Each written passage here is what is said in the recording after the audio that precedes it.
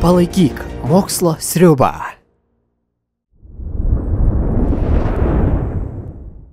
Sveiki, nuostabų žiūrovai. Nejučia pralėkė savaitėlė ir su mumis vėl astrofizikas Kastytis Zubovas. Pasiklausykime kosminės naujienos. Sveiki. Kaip ir kiekvieną savaitę, kosmoso naujienų apstu, kosminių atradimų, tyrimų ir taip toliau. O šį kartą parinkau naujieną susijusią su Kaiperio žiedu. Kaiperio žiedas yra toksai regionas Saulės sistemos pakraštyje, kuriame skrieja daugybė milijonai, gal dešimtis, gal šimtai milijonų įvairaus dydžio uolienų. Na, tiek uolienų, tiek ledo gabalų, bet iš esmės nuolaužų likusių nuo planetų formavimosi procesų. Yra ten ir didesnių objektų, pavyzdžiui, Plutonas. Gerai žinomas, kažkada laikytas planeta, dabar jau nuo jau beveik 20 metų kaip perkrikštytas į nikštukinę planetą. Tai buvo pirmasis aptiktas Kuiperio žiedo objektas na bet vėliau pradedant pastarojo amžiaus paskutiniu dešimtmečiu tų objektų atrandama vis daugiau ir daugiau ir daugiau.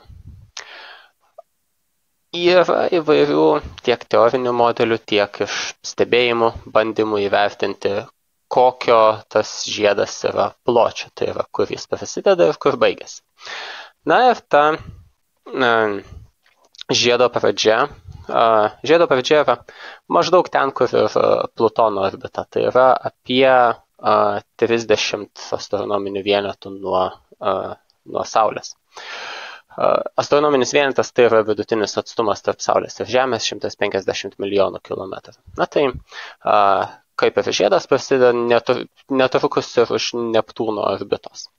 Kristi labai toli būtų mums iki ten taip labai toli bet ir taip susiję su šita naujiena yra e, zondų kurie iki tenai nuskrido ir skrenda pro jį vienas iš tų zondų yra new horizons New Horizons kaip tik 2005-aisiais ar gal ketvirtaisiais paleistas ir 2015 metais Liepą jis praskrido per Plutoną. Praskrido taip greitai, kad į orbitą neįėjo, tiesiog padarė nuotraukų skrisdamas per šalį ir nuskrido toliau. 2019 m. sausio 1 dieną jis praskrido pro kitą daug mažesnį objektą, vadinamą Arokotų apfotografavo jį ir dar skrenda toliau. Laikui bėgant jis išlėks ir iš Saulės sistemos į tarp, į tarp žvaigždinę erdvę, bet kol kas jis būtent tyrėsi per Kuiperio žiedą. Ir šiuo metu dalis jo instrumentų yra išjungti, nes jie skirti buvo būtent Plutono arba Rokoto stebėjimams. Tačiau kai kurie instrumentai nuolat atlieka matavimus ir vienas iš jų yra dulkių matavimo įrenginys, kuris fiksuoja dulkelių smūgius į visą zondo priekinį paviršių na jis užfiksuoja jis jautrus yra dulkelėms kurių a, masės yra didesnės už vieną pikogramą tai yra vieną trilijonąją gramo dalį. Tai labai labai jautrus prietaisas.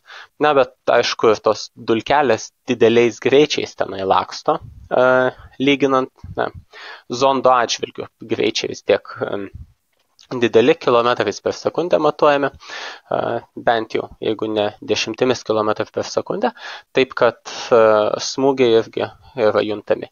Netokie stiprus, kad patį zondą sugadintų, bet pakankamai stiprus, kad juos būtų galima užfiksuoti.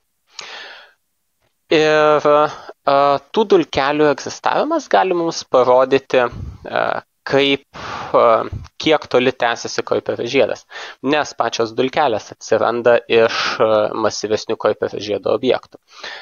Viena vertus tie objektai kartais gali susidurti ir pažirti į vis smulkesnius, kita vertus tarp žvaigždinės dulkės, tarkim, atliekusios iš, iš už Saulės sistemos ribų arba netgi kosminiai spinduliai. Tai yra labai energingos pavienės dalelės pataikę į tuos Kuiperio žiedo objektus gali nuo jų numušti, tarkim, ledo grumstelius arba uolienas arba kitokias dulkeles. Um, Ir įvairūs teoriniai modeliai mums e, duoda prognozes apie tai, kaip tos dulkelės turėtų būti pasiskiršiusios priklausomai nuo atstumo iki Saulės.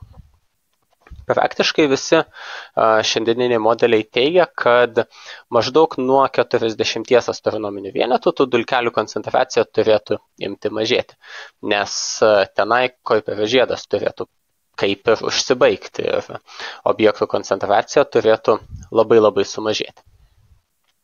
Tačiau Nors šiuo metu New Horizons yra jau beveik 60 astronominių vienetų atstumų nuo Saulės, dulkelių koncentracija jį pasiekianti ne tik, kad nesumažėjo, bet net ir auga ir yra apie pusantro karto e, didesnis srautas negu ties 40 astronominių vienetų. Tiesa, šitie šitas skirtumas pusantro karto, jis nėra statistiškai reikšmingas, nes dulkelių, dulkelių smūgiai yra pakankamai reti, kad apskaičiuotas srautas turi didelės paklaidas ir paklaidų ribose tas srautas gali būti ir vienodas, bet jis tikrai nemažėja nuo 40 astronominių vienetų. Nors modeliai sako, kad iki 60 astronominių vienetų srautas turėtų būti bent jau tris kartus mažesnis negu, negu ties 40 astronominių vienetų. Tai kyla klausimas, o kodėl čia taip? Ir e, šito tyrimo autoriai, nors jų pagrindinis darbas buvo būtent e, duomenų analizė ir pateiktas šitas rezultatas apie e, srauto, apie srauto vertę 60 astronominių vienetų atstumu, bet jie pateikė kelias, kelis galimus paaiškinimus. Tai vienas yra toksai, kad saulės spinduliuotės slėgis, nors saulės spinduliuotė e, ties Kuiperio žiedu yra labai silpna, daugiau nei tūkstantį kartų silpnesnė negu ties Žemė, e, tačiau vis tiek e, tas spinduliuotės slėgis gali būti pakankamas, kad dulkeles nustumtų tolyn. Ir dulkelės formuojasi Kuiperio žiedė iki 40 astronominių vienetų, tačiau yra nupučiamos tolyn Saulės vėjo ir pasklinda daug plačiau. E, kitas galimas paaiškinimas tai, kad pats Kuiperio žiedas tęsiasi toliau nei buvo manyta. Ir vien iš stebėjimų, tarkim, nustatyti, kur tas Kuiperio žiedas baigėsi labai sudėtinga, nes taip toli esančius objektus sunku pamatyti, dėl to mes jų matome tik tai labai labai nedidelę dalį. Ir kuo toliau objektai, tuo juos sunkiau pamatyti, taip kad išorinį Kuiperio žiedo kraštą uh, aptikti uh, tikrai tikrai labai sudėtinga, nes niekad negali žinoti, ar toliau neaptinki objektų dėl to, kad jų nėra, ar tiesiog jie yra per toli. E, čia pajokaujant pasakysiu, kad reikėtų nuskraidinti didelį prožektorių ir apšviesti, kad ten matytųsi. na, taip, didelis, tas prožektorius turėtų būti ir didelis ir labai labai galingas, aišku, kad ką nors pamatytų. Plius problema, kad priešingai dažnam a, populiariam įsivaizdavimui, a, kaip yra žiedas, kaip yra asteroidų žiedas, tai nėra toks telkinys, kuriame tenai uolienos viena prie kitos laksto ir pro jas tenai net ir prasiskverbti sudėtinga būtų. Vis tiek atstumai tarp jų yra bent jau milijonai kilometrų, jeigu ne, jeigu ne dešimtis milijonų, kas yra labai labai daug žemiškais mastais, bet Saulės sistemos mastu, ypač jos pakraštyje, yra netiek ir daug. Taip kad ap, net ir ten esant aptikti kokį nors objektą yra tikrai sudėtinga, nebent pasiseka, kad jisai skrieja visai kažkur netoli tavęs. Um, tai va, na bet kuris iš šitų uh, paaiškinimų yra teisingesnis, nežinia. Ir uh, kol kas um, geriausia, didžiausia tikimybė kažką išsiaiškinti yra tiesiog laukti, kol New Horizons nuskris toliau ir surinks daugiau duomenų. Nes na, vis tiek kur nors dulkių koncentracija turėtų pradėti mažėti. O tai, kokiu atstumu tai vyksta ir kaip staigiai tų dulkių sumažėjo, turėtų padėti ir atsirinkti, kuri iš šitų dviejų hipotezių teisingesnė. Nes jeigu dulkių mažėti e, jiems labai staigiai, tai reikštų, kad vat, praskrido e, kaip ir žiedo pakraštį ir jau daugiau daugiau tų dulkių nesiformuoja. Jeigu dulkių mažėti jums tolygiai, tai reiškia, kad kaip ir žiedas jau baigėsi kažkur seniau, o čia yra tik tai tos dulkelės, kurias saulės vėjas nupučia. Ir vienas jis nupučia mažiau toli, kitas nupučia toliau. Man įdomu, kas trukdo e, toms dulkelėms e, vėl sulipti į e, didesnius gabalus ir galiausiai suformuoti kažkokį mėnulį ar net planetą? Kartais taip gali nutikti, bet pagrindinis kliuvinys yra būtent tas jau minėtas atstumas tarp jų. Jeigu du kūnai susiduria ir pažyra dulkelėmis, tai uh, dalis dulkelių tikrai nusėda atgal ir uh, gal net padeda tiems dviems kūnams sulipti vienam su kitu bet didelė dalis dulkelių tiesiog smūgio metu įgyja greičius, kurie didesni už pabėgimo greitį šitų kūnų. Nepamirškim, kad visi kūnai ten yra mažyčiai ir pabėgimo greitis iš jų yra irgi žemas. Jis matuojamas tikrai ne kilometrais per sekundę, o metrais ar net centimetrais per sekundę. Taip kad pabėgti nuo jų gravitacijos yra labai paprasta. Ir tos dulkelės išsisklaido, na, išsisklaidžiusios jos su kitomis dulkelėmis greičiausiai tiesiog nebesusiduria, nes atstumai yra milžiniški ir gerokai didesni už pačias dulkeles. E, tai net ir e, jeigu mes prasuktume į ateitį milijardus metų, e, tas žiedas gyvuos ir vargiai ar jis sulips į vientisą kažkokį dangaus kūną. Greičiausiai taip.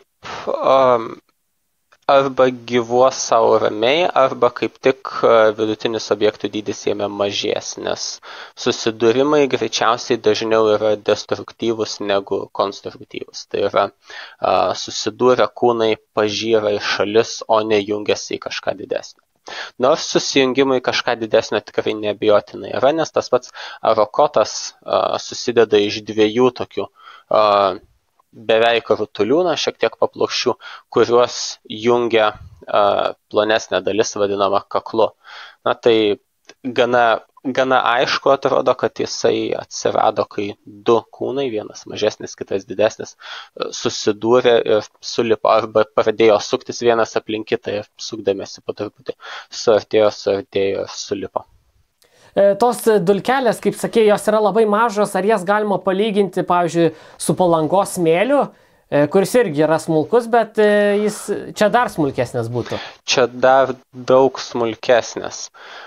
Na, kai kurios gal pasiekia ir tokių smėlio granulių dydį, bet jeigu smėlio granulė lėkdama keliolikos kilometrų per sekundę greičiu pataikytų į zondą, tai jau greičiausiai apgadintų zondą.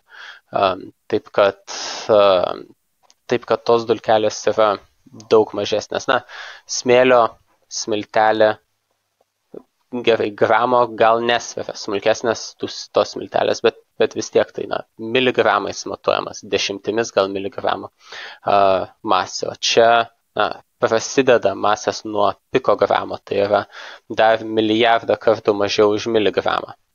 Na ir aišku, yra didesnių nanogramų, mikrogramų dydžio, bet vis tiek už smėlės miltelės jos turbūt mažesnės. O įdomu, kokia jų yra sudėtis? Ar tai yra būtent va, silicis, e, kažkoksai va, uolienos e, ar vandens, ledo laš, gabaliukai gali būti?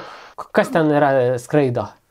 Įvairios. Tikrai daug vandens ledo turėtų būti nes tiesiog kaip ir žiedo objektai turi daug vandens ledo. E, sudėtyje taip pat uolienos taip tokios kaip silicio junginiai ir panašūs Ir dar gali būti įvairios e, organinės molekulės, nes e, tiek Saulės šviesa, tiek kosminiai spinduliai pataikydami į asteroidų paviršių esantį, kad ir, tarkim, amoniako ledą, metano ledą, kurio irgi šiek tiek yra, jie paskatina cheminės reakcijas, kurių metu įvairios organinės molekulės formuojasi. Ir tos, tomis molekulėmis dažnai yra tiesiog nuklotas kūnų paviršius. Tiek, tiek Plutone aptikta, tiek Plutono palidove Charone, tiek Karokote ant paviršiaus aptikta tų įvairių molekulių, taip kad smūgiai, kurie pažiūrė dulkeles į šalis, jie turėtų ir tų molekulių kažkiek numesti. Yra e, tokių pasvarstymų, kad galbūt e, būtent ir kažkokios organinės molekulės galėjo susiformuoti, ant tokių kūnų paviršių ir po to nukritę ant žemės sudaryti palankias sąlygas gyvybei formuotis. Ar čia būtent apie tas pačias medžiagas ir kalbame? Iš dalies taip, bet, bet turbūt ne, ne vien tokias ir pagrindinė jas, nes tos medžiagos, kurios su asteroidais ir kometomis galbūt pasiekia Žemę, nors kaip tik neseniai skaičiau, kad gali būti tiesiog kosminės dulkės, kurias į Žemę atnešė tas, ne, tas molekulės, tai, tai tos molekulės buvo įvairūs cukrus ir amino rūgštis. Kad cukrus arba amino rūgštis susiformuotų jau reikia truputį labiau specifinių sąlygų, tai temperatūros, vandens turbūt reikia. Ir tos sąlygos galėjo susidaryti kai kuriuose asteroiduose ir kometose, tiesiog ypač Saulės sistemos jaunystėje, kai a, objektai dažnai susidurinėjo, ten vykdavo tirpimas, lydimasis, kurį laiką būdavo skysto vandens, paskui jis vėl sustingdavo, bet tos organinės molekulės formavusios ne, galbūt išlikdavo. Tuo tarpu čia, kai kai objektai tiesiog milijardus metų yra bombarduojami ultravioletiniais spinduliais ar energingomis dalelėmis, tai cukrus ir amino rūgštis greičiausiai kaip tik suardyti yra ir kitokie junginiai formuojasi. Ar buvo bandymas e, kaž, padaryti kažkokį erdvėlaivį, kuris e, skriedamas per tą zoną e, surinktų tas dulkes e, kažkokias ir E, po to sugrįžtų į Žemę ir mes paimtume tokį mėginį, tarsi patirinėtume mažų tų dulkelių. Buvo NASA zondas Stardust, kuris berots pro kometos uodegas skrisdamas paėmė dulkelių mėginių. A, tai buvo dar berots praeito amžiaus pabaigoje o gal šio pradžioj, dabar tiksliai nepasakysiu, bet um, uh, ten jo rezultatai tokie nelabai aišku, man atrodo, ką jis paėmė ir tikrai iš kometos odegos jam pavyko paimti uh, mėginius ir panašiai. Uh, tai va, taip pat buvo keletas kitų misijų, kurios pargabeno kosminius mėginius į Žemę. Na tai visai nesenos um, Hayabusa 2 ir uh, Osiris Rex misijos, kurios iš asteroidų pargabeno mėginių. Uh, bet pargabenti kažką iš, pargabenti tokių dulkelių iš Kuiperio žiedo, tai dvi problemos kyla. Viena problema, aišku, surinkti tų dulkelių, nes vis tiek jų srautas yra nedidelis. Čia kalbam man atrodo, gal tik tai apie dešimtis tų dalelių. Uh, gali būti, kad tik tai dešimtis ar šimtus tų dalelių smūgių ten per metus ar panašiai. Tai ten kaip ir vakumas, visiška tuštuma. Ten, taip, taip, tenai, tenai būtent visiška tuštuma bandau dabar greitai surast, kiek tų smūgių buvo, bet, bet nepavyksta surast. Bet taip, tai visiškai atrodytų tuštuma, kurioje na, kartais pasitaiko tų, a, tų dulkelių, bet pakankamai nedaug. Taip, kad labai ilgai zondas turėtų skristi, kad jų pririnktų kiek nors a, pastebimai. Na ir kita problema yra, kaip jiems sugrįžti nes New Horizons tam, kad pasiektų Plutoną, tarkim, per dešimt metų, jis skrido, praskrido dar per kelias kitas planetas, kad pagreitėtų jų gravitaciją pasinaudojęs, e, bet išvystė tokį greitį, kad prie Plutono jam sustoti niekaip nebūtų pavykę, tiesiog Plutono gravitacijos nepakako tam ir sondo variklių ir dabar jisai skrieja keliolikos kilometrų per sekundę greičiu, pakankamu, kad pabėgtų iš Saulės sistemos. Jeigu norim, kad zondas uh, surink, Jo, jeigu norim, kad zondas surinktų daugiau dulkelių, jis turi greičiau skristi, kad didesnį atstumą paskristų. Bet jeigu norim, kad jis apsisuktų ir grįžtų į Žemę, jam reikia skristi kuo lėčiau ir turėti pakankamai degalų, realiai pakankamai išmetamos medžiagos, kad galėtų įjungęs variklius sustoti, apsisukti ir um, pasileisti Žemės link. Tai iš principo tas įmanoma. Fundamentalių fizikinių dėsnių, kodėl tai nebūtų įmanoma, nėra bet iš inžinierinės pusės tai yra labai labai sudėtinga užduotis, nes visą tą kurą jam reikėtų gabenti su savim. Tai, žodžiu, krovinio masę padidina daugybę, daugybę kartų. Čia gal staršipas padės šito klausimu, va, didesni gabaritai daugiau galės iškelt to krovinio. Gal staršipas kažkiek ir padės, bet manau, kad apie tokias misijas ir panašias kitas didžiulės misijas, didžiulius kosminius laivus mes galėsim šnekėti tada, kai turėsim kažkokią orbitinę pramonę ir galimybę statyti erdvėlaivius tiesiai orbitoje. Galbūt iš komponentų, kurie tiesiog pakeliami iš Žemės bus vienas po kito, bet paskutiniai sujungimai turėtų būti daromi orbitoje. Arba gal net ir nemaža dalis gamybos būtų vyktų orbitoje, na, bet čia jau prie fantastinio scenarijaus prieinam, kur asteroid, iš asteroidų išgaunamos naudingos medžiagos, jos atgabenamos į orbitą aplink Žemę, perdirbamos, gaminami erdvėlaiviai ir tie erdvėlaiviai skrenda toliau kažką naudingo veikti. E, kaip manai, ar ateityje žmonės būtent skraidys į tą žiedą, e, gaudys tuos asteroidus, e, ten bandys juos išeksploatuoti, ar vis dėlto tai yra per toli? Manau, kad tuo metu, kai um, turėsim technologijų, kurios leistų taip real, realiai skraidyti tą žiedą žmonėms kažką tenai nuveikti ir grįžti atgal, Tai manau, kad tuo metu technologijos bus pakankamai pažengusios, kad žmonės galėtų leistis į keliones į kitų žvaigždžių sistemas. O tai, mano nuomonė, bus daugumai žmonių daug įdomiau negu skristi į tą Kuiperio žiedą.